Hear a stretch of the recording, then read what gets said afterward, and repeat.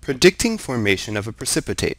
In this example problem, it says if silver nitrate solution is added to potassium chloride solution, so AgNO3 plus KCl, what is the chemical formula of the precipitate that forms? So this is a double displacement reaction, so actually we're going to have AgCl plus KNO3. So now that we know that Ag and AgCl and KNO3, we have to decide which one of these is going to be the precipitate, if any of them are going to be the precipitate.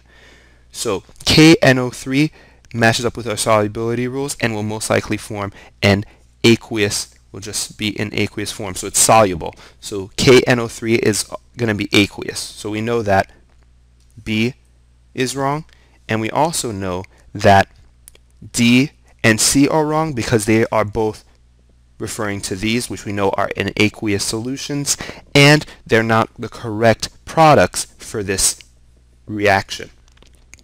So, what we have are left are AgCl and no reaction. What we know about AgCl is that chlorides are soluble except when they are with silver.